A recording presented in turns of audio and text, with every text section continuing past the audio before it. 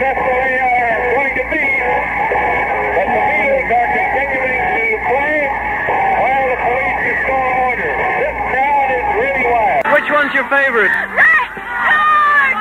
What do you like about him? He's beautiful, and he's like a dog. Well, it looks like there's a casualty, folks.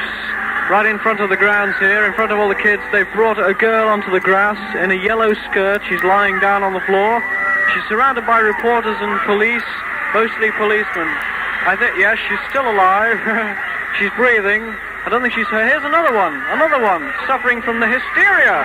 She's wearing a blue uh, thing with blue tights and I Love George scribbled right across her um, t-shirt. Long hair and no blood. Oh well, can't have it all, you know. And what exactly do you have to do with this uh, setup? Well, I was, um, I helped to set up the chairs, the 13,000 chairs, and build the stage. We slept here for four days and four nights. We lived here at Suffolk Downs while we built this and did all this work. Have you ever seen anything like this crowd and this reaction before? No, I haven't, and I hope never to see it again.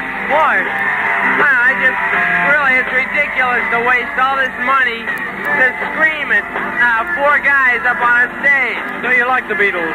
Well, I like their music, yeah, but I can't see standing around screaming and throwing. What's your name? I'm John Levinsky. And you're a local here? Yeah, I'm from um, Malden, Mass. And you're going to leap up on stage right yeah. at this moment? Yeah, I'll try. Okay, there he goes. He's going to leap up now.